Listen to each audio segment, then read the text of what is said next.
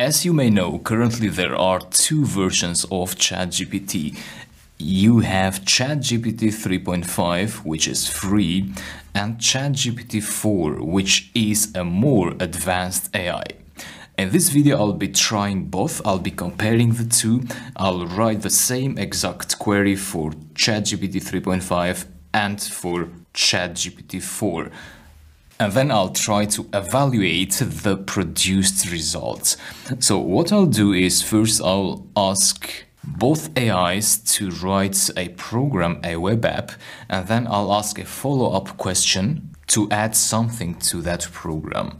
And we'll see how the results will be. Let's start. Create a web app that converts miles to kilometers use Flask. That will be the query. And I'll copy that and paste it in here as well. So that's ChatGPT 3.5, that's ChatGPT 4. So with this query, I expect the AIs to build me a web app using Flask. Flask is a web framework for Python. So this will be Python code. So I'll press enter in both and see what happens.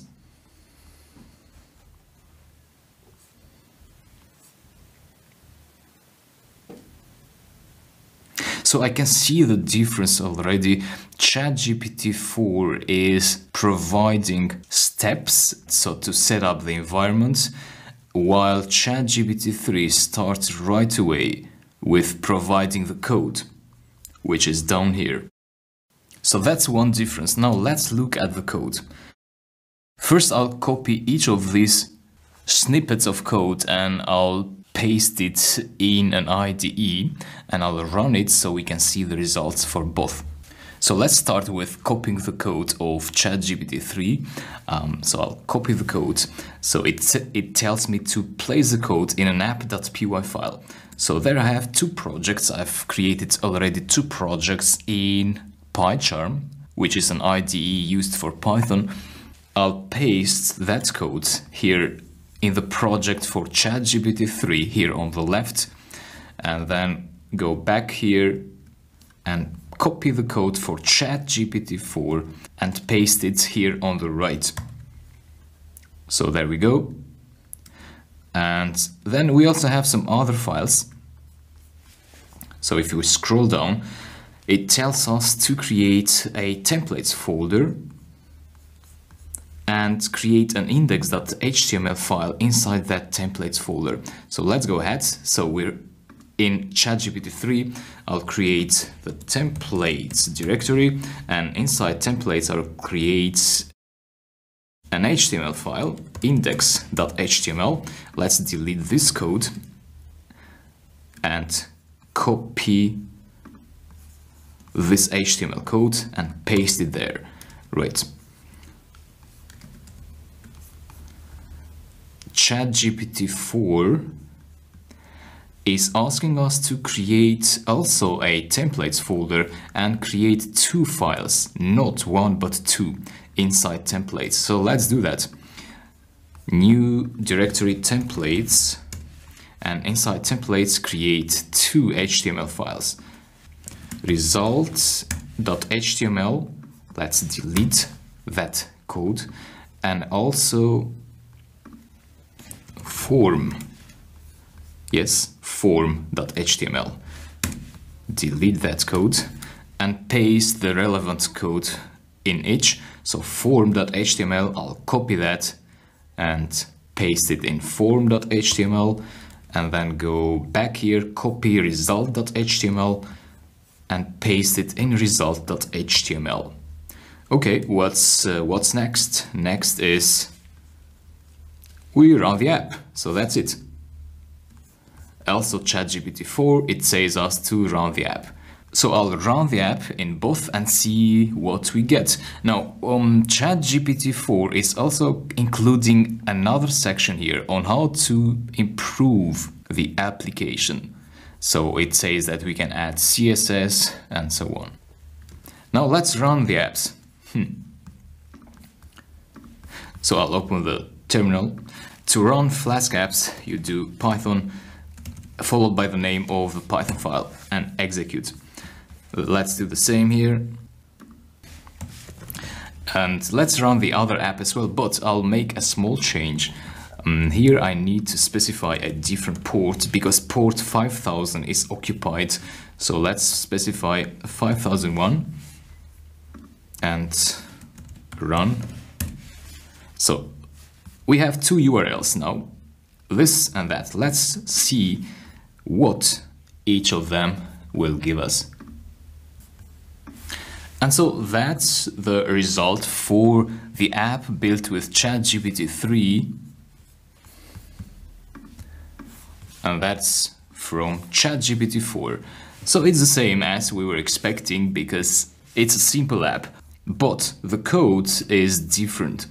So with ChatGPT 4, we got two files, which in my opinion is a good thing because it's keeping things organized. So we got two HTML files and with ChatGPT 3, we got only one file. And that's about the HTML code.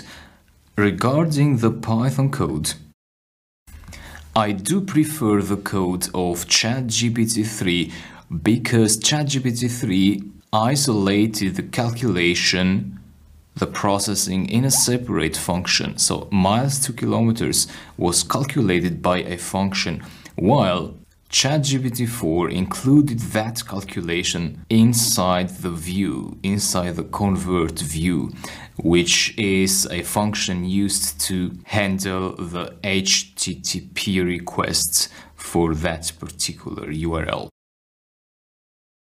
So as a conclusion, which one is better to build something?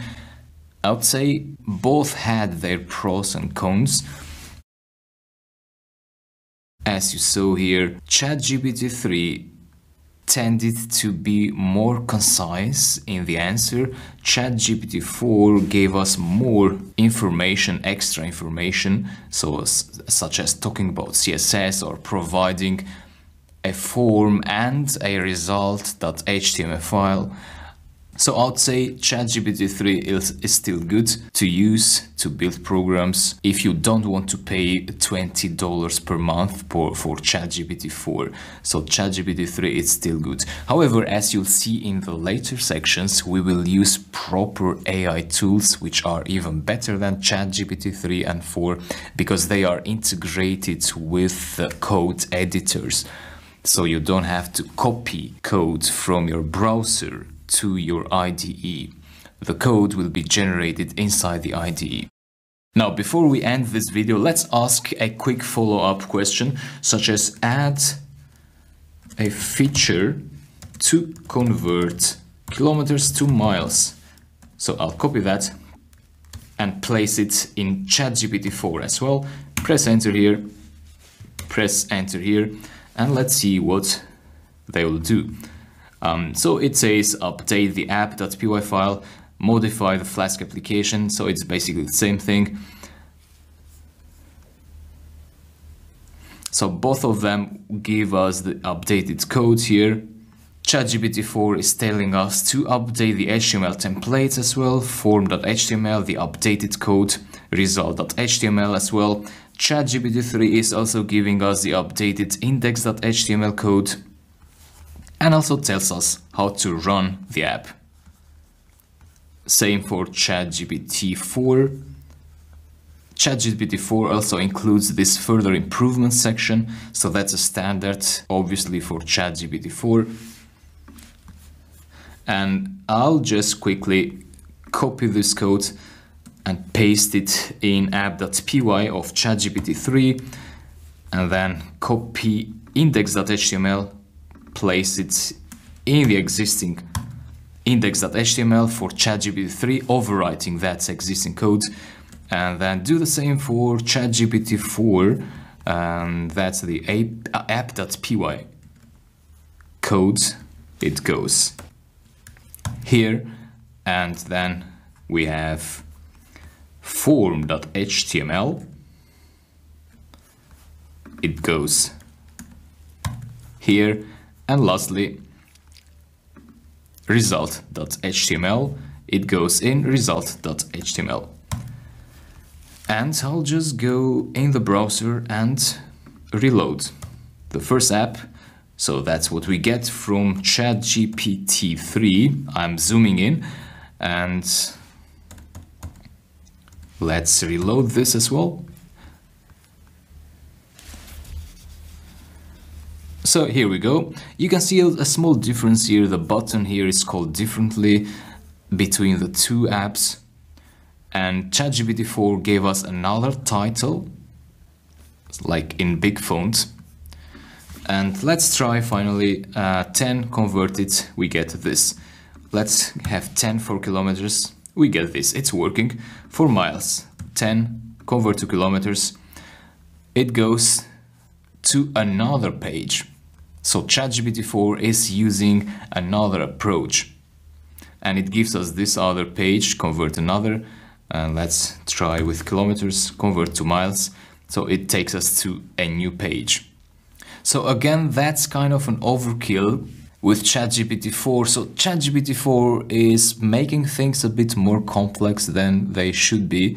ChatGPT 3 is skipping things easier. Now that has pros and cons because uh, if you were to extend this app, the structure that ChatGPT 4 is using would be easier to work with compared to the simple structure that ChatGPT 3 offered us. So I would say that ChatGPT 4 is better for more complex apps and ChatGPT 3 is better for simpler apps. So with that, I thank you for following this video and please follow the next videos where I'll cover AI code assistants in depth. See you there. Thanks.